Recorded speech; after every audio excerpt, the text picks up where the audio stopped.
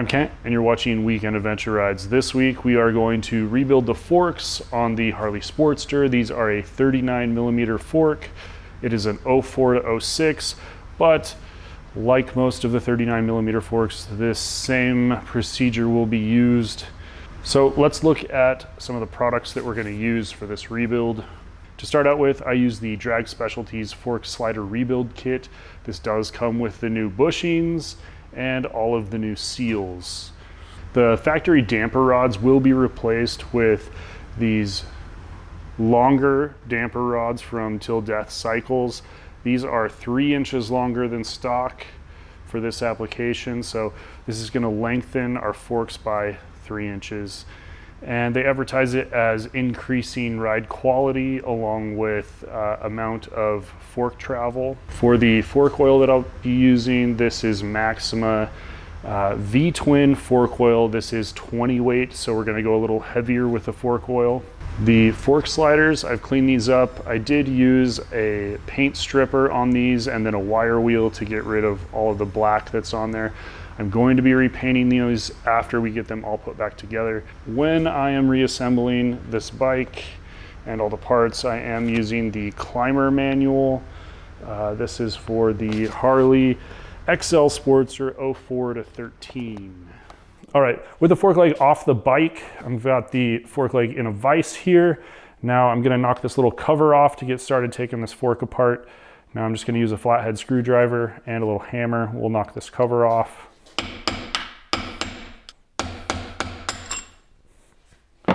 All right, so that's off. Now I've got this oil pan here and there's a little Phillips head screw here at the bottom that allows the oil to drain out. So I'm just gonna take that off. Set that aside. And when I put the fork up, you can see the oil starting to run out of there. We'll let that drain for a little bit. Then push down on the fork leg here. It's gonna force some of the oil out. Then I'm gonna put this back on there. The reason I did that first is I wanna limit some of the mess I'm gonna make here when I pull this plug out of the bottom. There is a hex head screw in the bottom. That is, uh, I have a six millimeter here for that. So let's put this in the vise, we'll pull that out. Okay, to get this out, I've got this Allen key here. Now I'll show you a trick to get this out using the addition of a box end wrench. So we put the Allen key in. Now take the box end wrench. I'm gonna put it over the top like this. Gives me some more leverage here. Try not to bang your knuckles. Okay, got that broke free.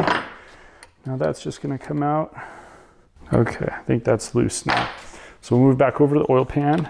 Okay, with that bolt at the bottom loosened up, flip this over and that's gonna fall out. Don't drop it in the oil pan. I'm gonna take this little drain screw out and that'll allow the fork oil to kind of come out of there a little easier. So I'm gonna set this aside for a second and just let it drain.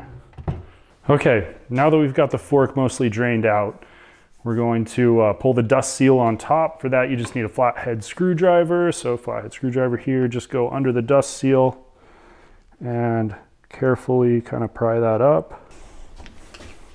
Okay, we'll slide that off. There is a retaining ring in here you can just use a flathead screwdriver. There's some little indents in it to get the screwdriver in, kind of pop it up and work around. And that's just gonna come out. ring looks like that. See those little indents? Okay, now inside of here, we have the actual oil seal. Now to get this out, we use the fork leg here as like a slide hammer. So I'm just gonna pull up on this carefully, you see it coming out. There we go. And then I'm gonna set this aside on the oil pan.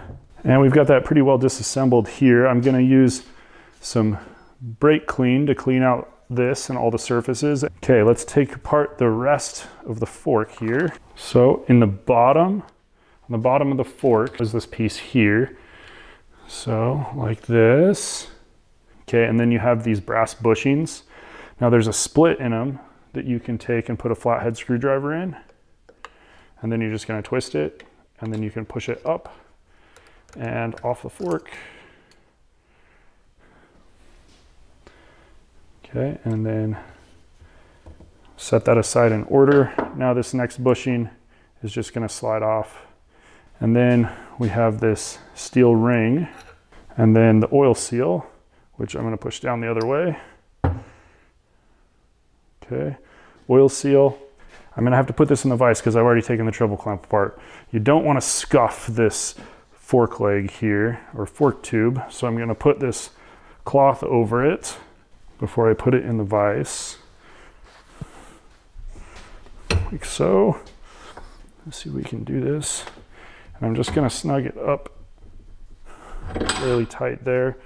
Okay, and then using an adjustable wrench, we'll start taking off this top. Now this is under spring pressure, so it's gonna pop off and scare everyone like a jack in the box.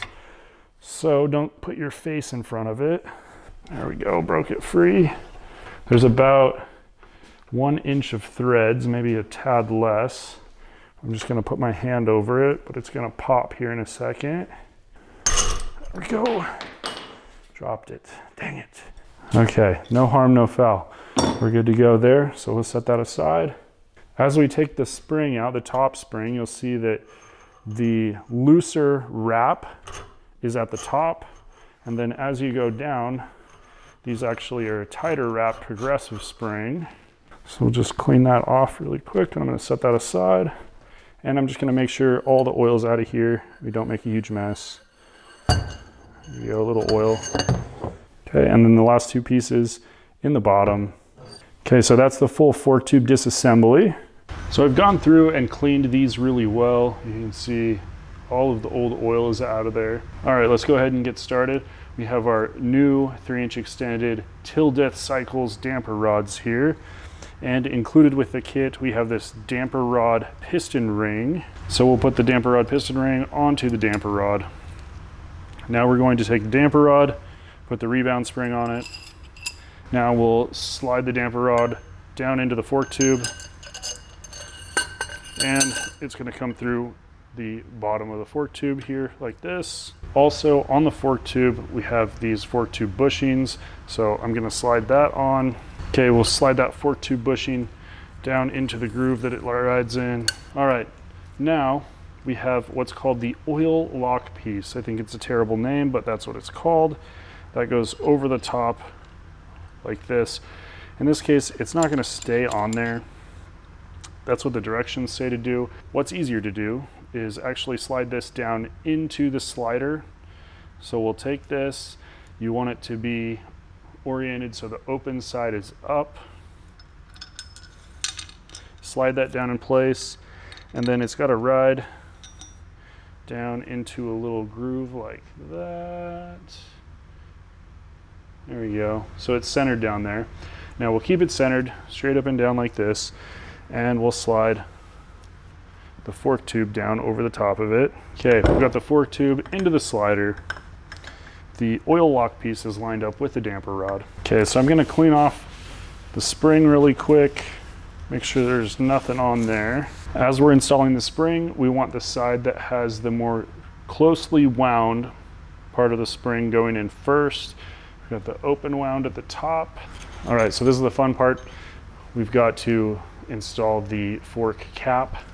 So I'm gonna pull the fork tube up while I push down on the spring and we're gonna spin the fork tube and hopefully get everything aligned just like that. Now we'll tighten down this fork cap. I'm just gonna use a big adjustable wrench for now. All right, so we just got it snug down a little bit. We'll put it up on the bench now.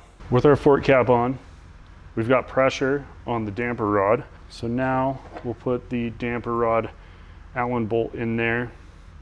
Now this has a new brass washer and this bolt came with that drag specialties kit. So we'll get that in there and start threading that down into place. And this is going to hold the fork together. I'm going to use my adjustable wrench to kind of snug that up. Now with that bolt in the bottom we can remove the fork cap again. This is under pressure so watch your eyes I don't have it tightened down too much. Just gonna push down on it while I spin the fork tube until it comes apart. It'll be fairly obvious when that happens. There we go. Set the cap to the side now. You can get rid of that for a second. Now we'll assemble the rest of the seals in here. Now this part is fairly important in the order that we do things. So we have the new slider bushing, this one, the wear side is on the inside as compared to the outside on the previous one we installed. Put a little fork oil on here, slide it over the top of the fork tube. Now we'll install the seal spacer and the last item that we're gonna do now will be the oil seal. The oil seal is directional. If we look at the oil seal, there is an open side and there's a closed side. We're going to put the open side down. Closed side will be on the top. Now I've noticed with these forks uh, specifically, they are tapered at the top just a little bit so this oil seal fits over fairly easily without cutting it. On other forks I've rebuilt, I've had to wrap it in plastic or put a plastic bag over it before I put it on just to not cut or tear the oil uh, seal. In this case, it goes on pretty easily.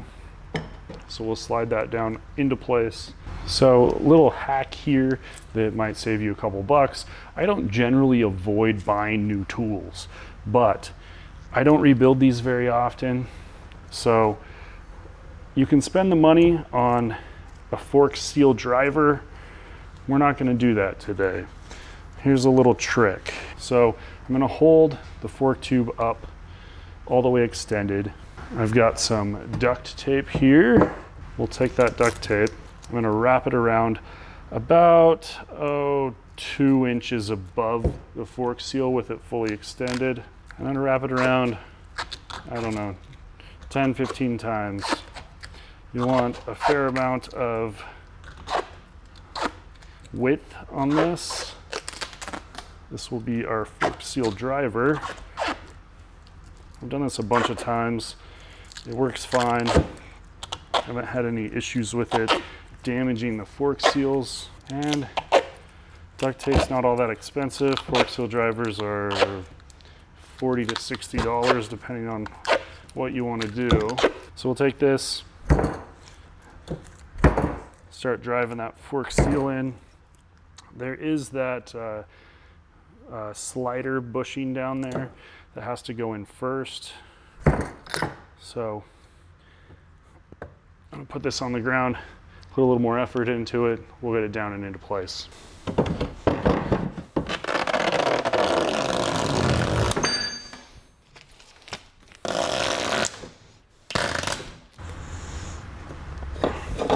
Okay, I used a little brake clean on a rag, cleaned all of that uh, residue off there from the tape.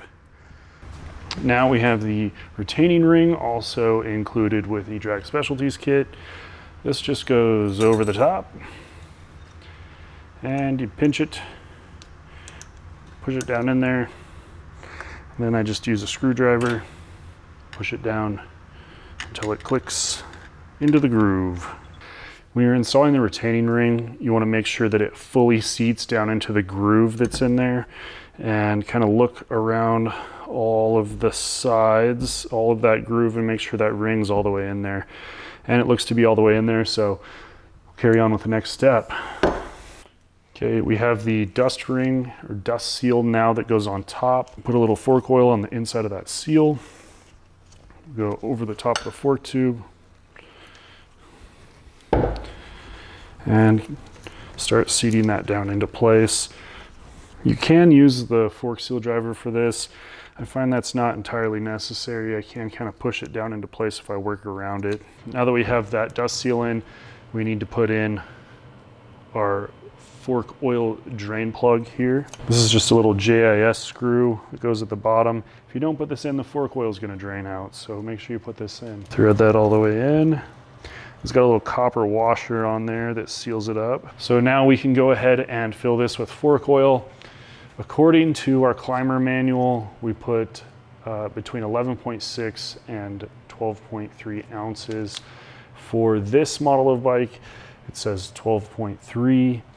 Uh, 0.3 ounces uh, isn't very much, so I'm gonna put 12 ounces in, and I think that's gonna be just fine. That's what Till Death Cycle says, put 12 ounces in. So this is 20 weight oil, it's a little heavier. The 0.3 ounces, I don't think is gonna make that big of a deal. So here we go, 12 ounces. Everything's sealed up. And you want your fork tube fully extended. If it's shortened all the way, you may run the risk of some of that fork oil leaking out at the top. Gonna hear it kind of bubble as it runs down there.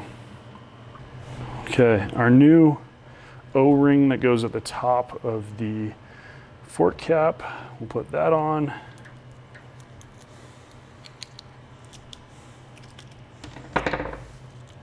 Throw a little fork oil on there.